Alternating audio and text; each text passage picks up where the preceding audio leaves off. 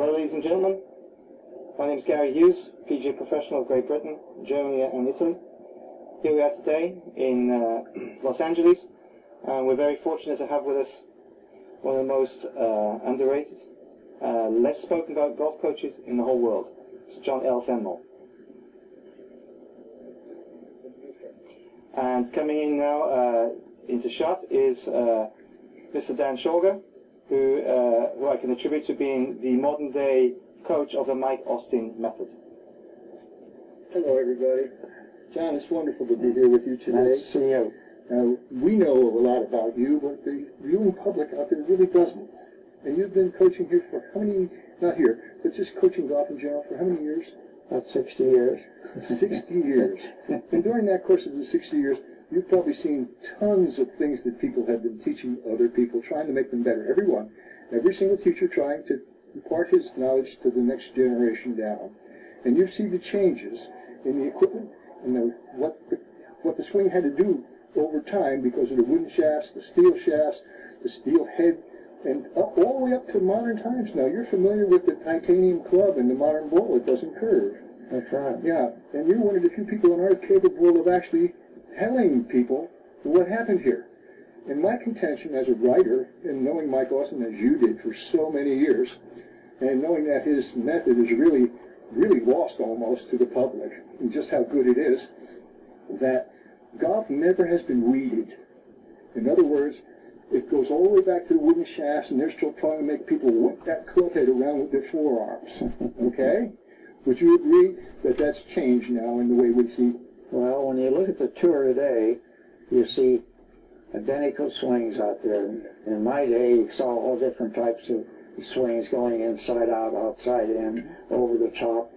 So actually, what has really changed today is not so much the equipment, but the golf ball has changed tremendously. Mhm. Yeah.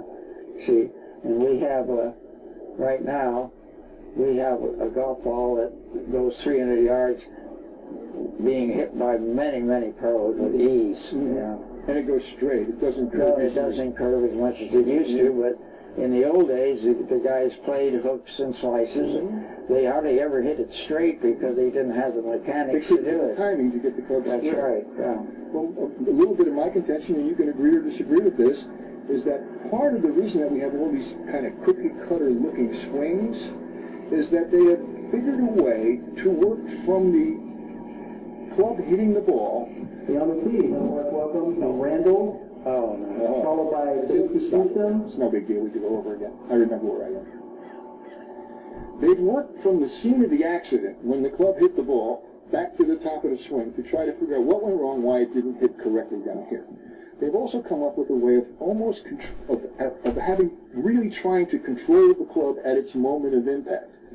When in the old days, people learned how to freewheel that club through the ball in order to get distance. Okay, my contention, and after all the study that I did with Mr. Austin, was that his swing was so perfect that he could swing it through there at a very high rate of speed, not have to control the club face, and that was a big part of where he got his distance from. Would you agree with me on that? Well, see, Mike uh, had a, a very perfect swing. He had a perfect plane, that's called a plane, where the club travels through the ball. Mhm. And his hands were actually, in reality, were very quiet. Yes, They were very they, quiet. they were they were quiet, but Yeah. they were moving through impact. Well, the club was moving. Yeah, well, they, Yeah, they moved the- hands down. Yeah, the club moves the hands through the Exactly. ball. You're yeah. perfectly right.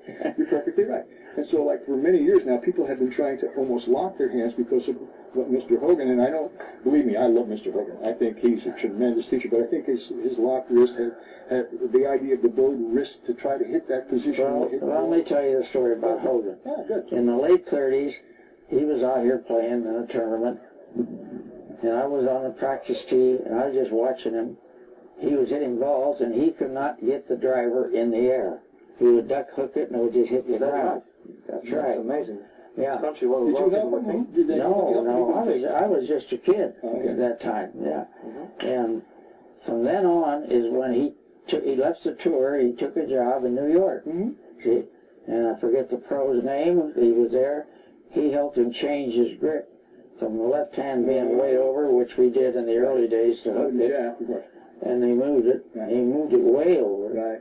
And so when Hogan went through the ball, he wouldn't Yeah. release it. He held didn't, on. he didn't release it way up He there. didn't, yeah, he, it released itself way on beyond it. eh? And so he would hit every ball either left or right or straight. Mhm. And that changed his whole career. You know, an interesting thing that you brought up Mr. Hogan here, and then we both brought up Mr. Hogan, was that I, I, I hope you can come. One of the main reasons I came here to talk to you is because you may be one of the few people alive today that can corroborate this something Mike told me and others have told me, but not of your prominence. I know many people that have no prominence in golf that have told me this, but after the accident, that Mr. Hogan came and sought Mike Austin out after the accident when his legs were all taped up to get some power back so that he could compete. And he went right out and won. And they spent three weeks together at Riviera and at um, another course in, in Bel Air. They spent three weeks at Bel Air and Riviera together, playing almost every day. And Mr. Austin, without changing visibly what Mr. Hogan did, gave him the distance that he needed to be able to compete and win on tour. Can you corroborate that statement for me? No, Do I, know I, I didn't know it happened. No, I really didn't. No. No, Mike never told me that. Okay. No. But, but, but, but that, that, we know But that. see, that was- happen. that It'd be great was- If you could corroborate. That was really right after the war there. That was uh, Yeah, when they could get together. So Yeah. Mike was, he was traveling in those days all over right, there. right, yeah. But he wasn't playing golf. No, no, he was wasn't. singing. He was, singing. you ever heard him sing? Yeah. I like oh that. yeah, he's just singing on the backswing. It was terrible. I mean, well, I, I, I don't, and I never speak ill of the dead, but, but, but, but I happen to know for a certain that that happened, and not just from one. That's I, great to hear that. Yeah, Yeah. I, I, I was hoping that you could corroborate that because you're a person of stature, and uh, Yeah. No, he never told me of that incident. Well, it's it's, it's uh, interesting that I was at, I'm not sure if I mentioned it, I was at a seminar in Birmingham back in back in April, and um, somebody who knew Mr. Hogan very very well is one of the prominent teachers today, well known worldwide, Mr. Jim Hardy. oh yeah, Hardy. And, and Jim told the whole auditorium, and I had a, a pleasure of being with Jim later on backstage with, with uh, John Jacobs and somebody who, who I know that knows, knows the yeah, I know very well. Jim Hardy very well. And Jim Hardy said to me, he said the whole auditorium, that there was one major mistake in Hogan's book, Five Fundamentals, which he corrected later in his life. It still stands in that book. And we're of the contention, Mr. Hardy as well, that that mistake was corrected by Mike Austin to help him get back on track. Where the couple used to get trapped with him, and we hadn't got the block, so he got the hooks. got rid of that block, got rid of let, let him swing on through the ball and gain that It's something he corrected later in life after he wrote that book. And that came from Jim Hardy. Jim Hardy said that. I think I've seen it on a DVD It's on, it's on one of DVDs. I have uh, his I have DVDs it. called The Plane I have Truth. Yeah. book. It's on. It's on. It's uh, Jim Hardy's uh, uh, massive uh, industry now with, with coaching. Uh, the Plane Truth. It's on one of his DVDs. I'd like to also tell the audience a little uh, story about John here uh, that most people don't know, and uh, it really is a piece of history that really should be known. And that was that John was a very early coach of the incredible Tiger Woods. Mhm. And now my contention is this too, that Earl had a plan for Tiger starting when he was way before you met him, didn't he? Hmm. And there were many golf coaches he could have come to here in Southern California, but he chose you. That is a mouthful. He could have chosen probably Yeah. 50 to 100 other teachers just here in Southern California because he knew what he had. Earl Woods knew what Tiger was going to be before he was seven years old. Oh yeah. And, and my contention is, and I hope you agree with me on this, and I know you're a humble man, you probably won't, you won't say, I didn't do that, it was Tiger, but we all know that you did. I believe you created Tiger. I believe what you gave him with your incredible wisdom carried him all the way through Stanford and took him out on the tour. I believe that came from what he learned from you, because that was his foundation. And my contention and why I say this is that I have a photograph somewhere. It was either on the cover of Golf Magazine or Golf Digest Magazine. I'm not certain which. Or if it wasn't on the cover, it was a prominent piece within the magazine of Tiger Woods, and he's halfway down in his downswing, and his right heel is this far Off the ground. off the ground. Definitely. And I feel that what happened to Tiger, why he hadn't surpassed Jack Nicklaus's record long ago, was he didn't have the great John Anselmo to tell him you got to let that heel go because that's a parking brake, and if you got your parking brake on, you're not going to get your around there very quickly. Well, you got to understand my life with Tiger. Which does. Well, what you don't know what happened. See, the, the uh, You're interested When in it- it.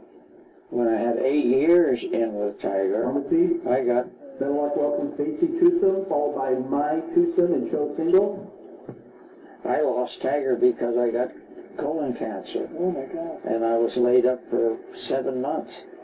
And in that time, Earl was looking for somebody to help Tiger, and and uh, the Australian player he uh, told uh, Earl take him to Butch Harmon. Mm. Well, I don't know what happened, but it didn't last more than three and a half years. Can I, can I, can I tell you what I think? and? I never asked Tiger why he left. Can I, just from But, observation? but I have an observation. yeah, I know you do. Rather than it come from you, because personally, I never knock another pro. I think everybody that's out there is Yeah. really doing his absolute best. But the observation that I had was this: that the reason that Ti- Tiger won, he came right out on tour, and he won, yeah. And he was using the motion with your heel up in the air, to let his hip go around. Well, we got that from pitching the basket. Uh-huh. Yeah, Yeah. as I told Yeah, you he- earlier. he- he- there's many It's things. a that- release sense. It's a release sense. Sense of, sense of release. Okay. Yeah. So he was using that when he first came out, and he came out 30 yards longer than anybody on tour, Hmm? and he was accurate. He was not missing fairways. He was putting the ball in the middle of the fairways. So then what happened? He started contending in these majors, but he was contending. He wasn't winning. And Tiger, we know, has always wanted to pass Jack. Yeah. That's a statement that he made. He wanted to. He had it on his wall. Right. And it's still his goal. To this minute, that's Tiger's goal. To his minute. It is. And my personal opinion is, when they analyzed the tape, and they said, why are you losing these things? It was because he was hitting his short irons over the greens on his approach shots. And if you know on U.S. Open and Masters and British Open, and you can't miss the green from behind. It's like trying to stop the ball on- on, on a marble staircase coming this way. No. And even though Tiger had the greatest short game ever, and I still think he's there, I still think he has the greatest short game ever, and a tremendous putter, and a tremendous ability to uh, uh, imagine, create imagination for shots that he couldn't get up and down from back there. Now, I, I believe if you had still been with him, that you wouldn't have changed that, that you would have maybe told him a little bit about controlling adrenaline and hitting less club and being sure that you were short of that flag on that particular shot. It would have been it would have been difficult because he was playing so much on his own. Yeah. See, and I have no idea what Butch was doing with him. Well, I, I know for sure that the difference that I see visibly between the, the swing that you gave him and the swing that I see Butch is that the right heel stayed down. Yeah. He kept it down longer. Now, when you kick the right heel down, boy, that's going to make you shorter, That's right. for sure. That's And so now he's not blowing the short irons over even under pressure. Now, that's not bad for Butch. I mean, Butch had his swing, and if you have to do Butch's swing. The problem existed then at that point.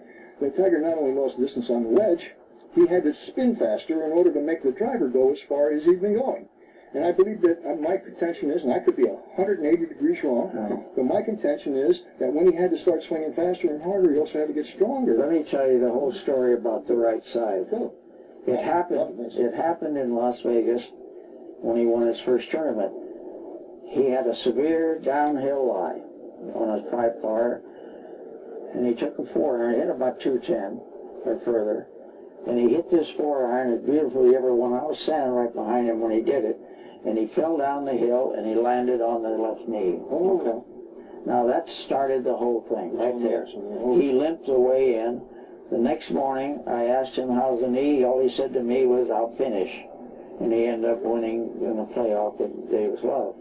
But that is the start of his swing being different right mm-hmm. then. I see. And yet he went through all those years winning with that bad knee. Mm, Yeah. yeah. He's still fighting that knee to this day. I think so, but now you look at him, he can walk, he's in balance. getting better, yeah. And he doesn't use the leg action like he, he did at a young age, that's for sure. Because he was, he, when he was trying to use it with that bad knee, the left knee would flip, take Yeah, off it- the It ground, would go sideways. go sideways. Yeah. And see, and they, they, these announcers, they never said nothing about that. They kept saying this and that about him. But he was fighting his own body to play golf. And he won a U.S. Open crippled. Amazing. Maybe, yeah. that, maybe that fall that uh, Johnson. It triggered it. Maybe, You know, maybe it was the straw that broke the camel's back. Right. Maybe it was the last bit that. that That's what it took to move him off in a different direction. Yeah. Well, Mr. Lawson taught me that the knee is a simple hinge. You can only go back and forth. That's right. And I think that what's happening now is He when said he's now me, driving. you know what